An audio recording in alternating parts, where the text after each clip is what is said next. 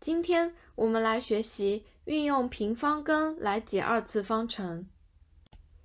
首先来求二次方程，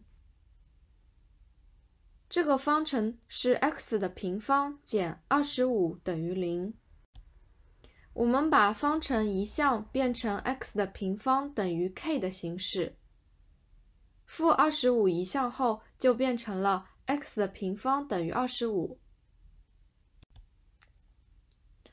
运用平方根原理求出解，x 等于正负五，这是 x 等于五和 x 等于负五的合起来的写法。这样二次方程的计算就结束了。那么就让我们来练习一下，先按下停止键做一道练习题吧。做完了以后，按下播放键对一对正确答案吧。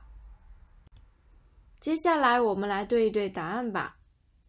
第一题，x 的平方减三十六等于零，解是 x 等于正负六。